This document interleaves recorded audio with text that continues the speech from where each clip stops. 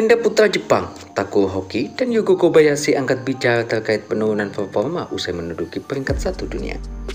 Takuro Hoki dan Yugo Kobayashi saat ini tengah bertanding di Indonesia Master 2023 yang berlangsung di Star Senayan, Jakarta. Dilansir dari laman resmi BWF, Hoki dan Kobayashi sempat menempati peringkat satu dunia selama 14 minggu pada 21 September hingga 20 Desember 2022.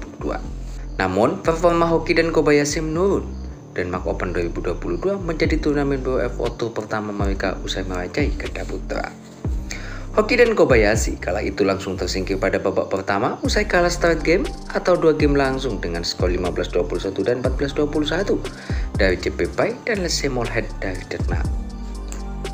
Setelah itu, Hoki dan Kobayashi terhenti di perempat final Perancis Open 2022 dan Halo Open 2022 serta fase grup BWF Auto Finals tahun 2022. Saat ditemui usai pertandingan babak pertama atau 32 besar Indonesia Master 2023, Hoki dan Kobayashi mengungkapkan alasan penurunan performa mereka. Tidak ada tekanan khusus, meski kami nomor satu dunia, kata Hoki menjawab pertanyaan kompas.com di Istora Senayan, Jakarta. Saat itu lagi ada perubahan perasaan kami, tidak bisa menikmati pertandingan, tidak bisa enjoy main bulu tangkis, ucap Hoki. Keadaan fisik dan mental lagi berubah saja, tutur Hoki melanjutkan. Hal serupa juga dialami Hoki Kobayashi ketika bermain di Malaysia Open 2023 dan Indonesia Open tahun 2023. Selain itu, Hoki Kobayashi juga menilai bahwa permainannya sudah dipelajari sehingga ganda putra lainnya bisa mengalahkan mereka. Kemarin kurang motivasi aja, mungkin kondisinya sama seperti yang lain.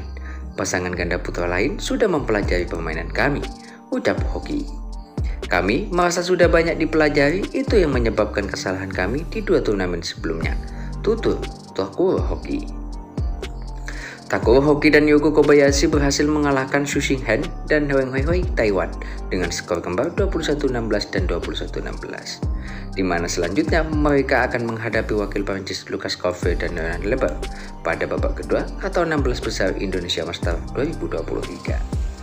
Nah, Mentor Lovers, Tinggalkan ya jejak kalian di kolom komentar, serta dukung terus channel ini dengan cara di like, di komen, dan subscribe lalu nyalakan lonceng notifikasinya agar kalian tidak ketinggalan informasi-informasi menarik lainnya dari channel ini.